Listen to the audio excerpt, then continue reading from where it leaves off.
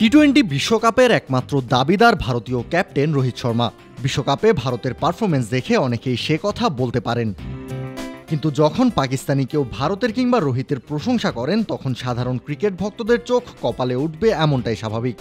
পাকিস্তানের সাবেক ক্রিকেটার মোহাম্মদ হাফিজের এমন কথা শুনে তাই চমকে যাওয়ারই উপক্রম হওয়ার কথা।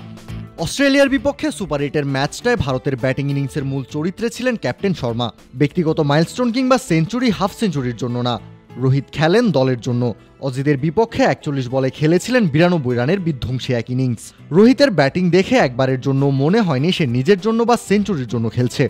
তার এমন অল আউট অ্যাটাক এবং আত্মোৎসর্গ করা ব্যাটিং নজর কেড়েছে সবার। রোহিতের বিধ্বংসী ব্যাটিং দেখে প্রশংসায় পঞ্চমুখ চিরপ্রতিদ্বন্দ্বী পাকিস্তানের মানুষও। সাবেক পাকিস্তানি ক্রিকেটার মোহাম্মদ হাফিজও আছেন সেই তালিকায়। এটা রোহিত শো ছিল।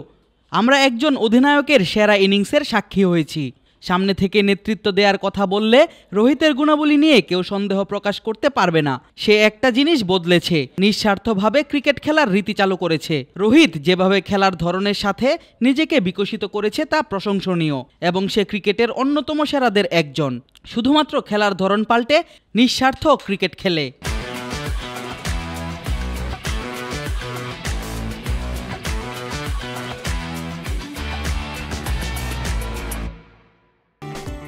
রোহিতকে অ্যাটাকিং অ্যাপ্রোচ টি টোয়েন্টি বিশ্বকাপ থেকেই শুরু করেছেন, নাকি এটা দীর্ঘমেয়াদী পরিকল্পনা?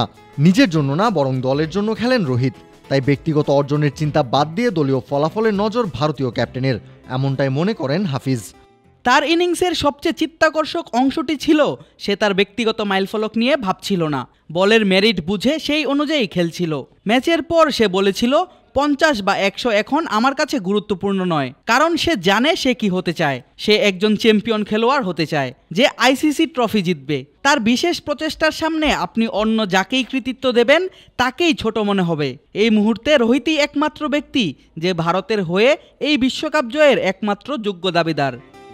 দু হাজার তেইশ ওয়ানডে বিশ্বকাপের পর ভারতের এবং রোহিতের সামনে আরও একবার সুযোগ এসেছে বিশ্বকাপ শিরোপা জেতার। এবার রোহিতের নেতৃত্বে ভারত যেভাবে ছুটে চলেছে, তাতে দু হাজার তেরো সালের পর আবারও আইসিসি শিরোপা ঘরে তোলা শুধু সময়ের ব্যাপার মাত্র।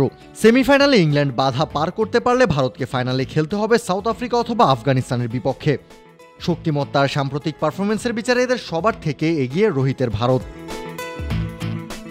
কাউসার শান্ত, ক্রিক ফ্রেঞ্জি